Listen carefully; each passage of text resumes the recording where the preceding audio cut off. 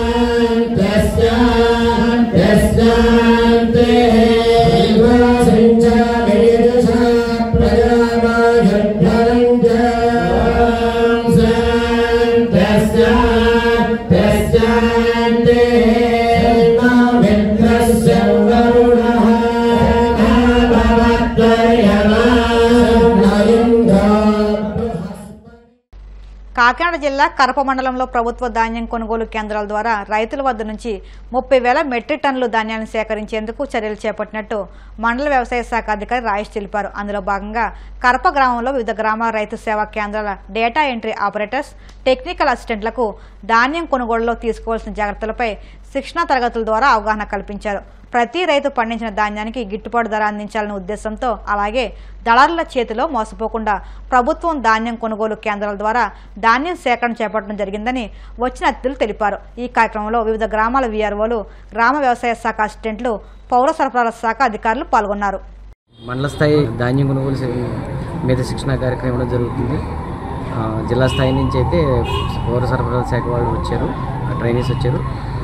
ఈ ట్రైనింగ్లో భాగంగా ఏంటంటే మనకి ధాన్యం కొనుగోలులో తీసుకోవాల్సిన జాగ్రత్తలు అనేది కింద స్థాయి అంటే ఆర్బీకే ఆర్ఎస్కే స్థాయి ఎవరైతే డిఈఓ ఉన్నారో టెక్నికల్ అసిస్టెంట్ ఉన్నారో తర్వాత హెల్పర్ ఉన్నారో వాళ్ళకి ఏ విధంగా ధాన్యం సేకరించాలి రాసుల నుంచి ఏ విధంగా ధాన్యం సేకరించాలి తేమ శాతం కానీ లేకపోతే దాంట్లో ఉన్న రాళ్ళు రప్పలు కానీ తప్పతాలు కానీ ఒక ఎలా గ- గణాంకాలు ఎలా గుణించాలి తర్వాత ఆ క్వాలిటీ పారామీటర్స్ ఏదైతే ఉన్నాయో అవన్నీ ఈ సెక్షన్లో వీళ్ళకి ప్రొజెక్టర్ ద్వారా వాళ్ళకి ఇవ్వడం జరుగుతుంది శిక్షణా కార్యక్రమం ఇవ్వడం జరుగుతుంది. ఈ శిక్షణా కార్యక్రమంలో మండల స్థాయి నుంచి మండల కమిటీ నుంచి తహసీల్దార్ గారు మండల అధికారి నేను తర్వాత తదితరులు అందరూ పాల్గొన్నారు. సో ఈ ఈ కార్య ఈ ఇందులో శిక్షణ పొంది వాళ్ళ ఆర్ఎస్కే స్థాయిలోకి వెళ్ళి రైతుల నుంచి ధాన్యం సేకరించి సేకరించి తీసుకోవడం జరుగుతుంది తీసుకుని ట్రక్ షీట్ జనరేట్ చేసి సంబంధిత మిల్లుకి ట్రక్కుల ద్వారా అంటే జీపీఎస్ రిజిస్టర్డ్ ట్రక్కుల ద్వారా మనకి ధాన్యం పంపించడం జరుగుతుంది. ఈ ప్రక్రియ అంతా మనకి సో ఇంచుమించు ఒక ఇరవై ఇరవై ఐదు రోజుల నుంచి మనకి స్టార్ట్ అవుతుందని ధాన్యం కొనుగోలు.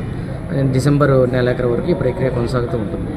దీనికి సంబంధించి మనకి సుమారు పా ముప్పై వేల మెట్రిక్ టన్నులు మనం ఒక గరిష్టంగా మనం టార్గెట్ పెట్టుకున్నాము. ముప్పై వేలు ధాన్యం సంబంధించి ఎంటీ డెబ్బై ఇరవై తొమ్మిది కొంత శాతం పదమూడు పద్దెనిమిది ఈ రెండు.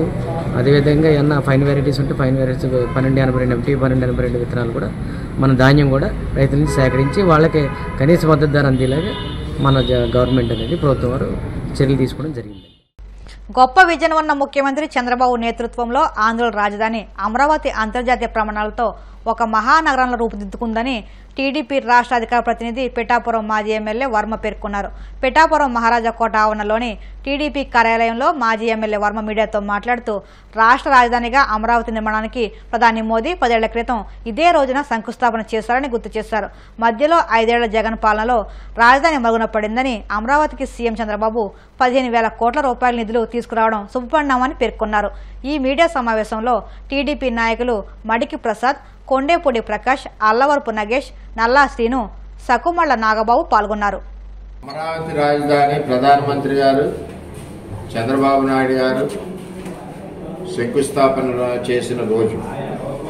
ఆంధ్రులందరూ కూడా ఎంతో గర్వించదగి ఎంతో కలలు కన్న రాజధానిని జగన్మోహన్ రెడ్డి వచ్చాక మూడు రాజధాని పేరుతో అమరావతిని చంపేసిన నాయకుడు జగన్మోహన్ రెడ్డి. అమరావతిని నిలబెట్టడానికి అహర్నస్లో కష్టపడిన నాయకుడు చంద్రబాబు నాయుడు.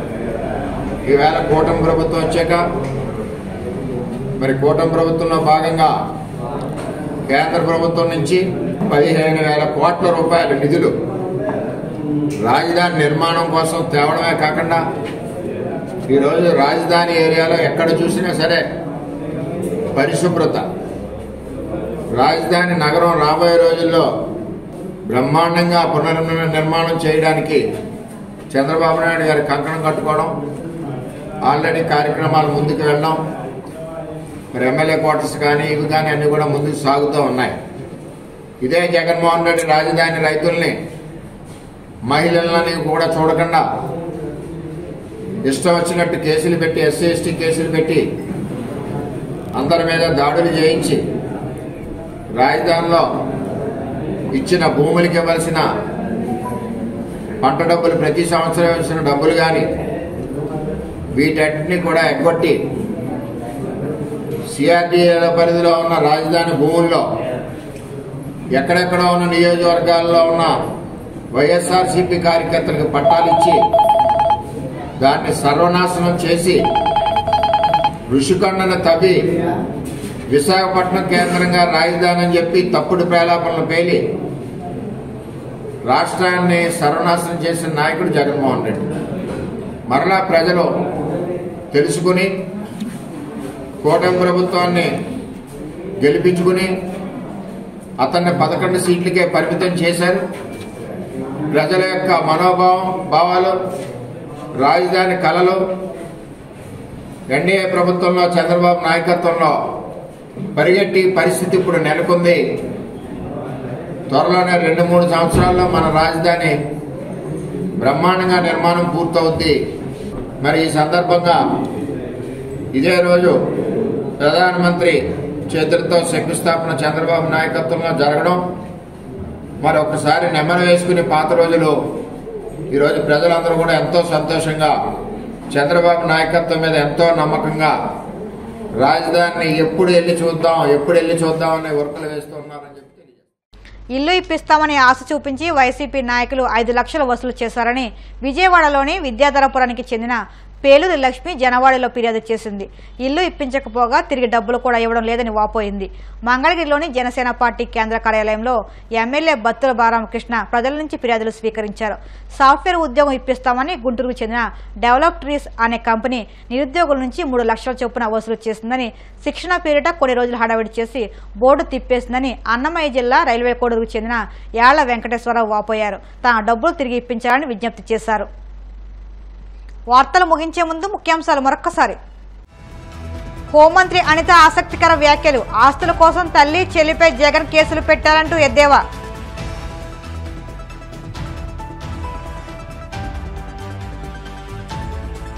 డ్రైవింగ్ వృత్తిలోకి వచ్చిన యువతకు మంచి అవకాశాలు. సద్వినియోగం చేసుకోవాలన్న కాకినాడ జిల్లా ప్రజా రవాణా అధికారి శ్రీనివాసరావు.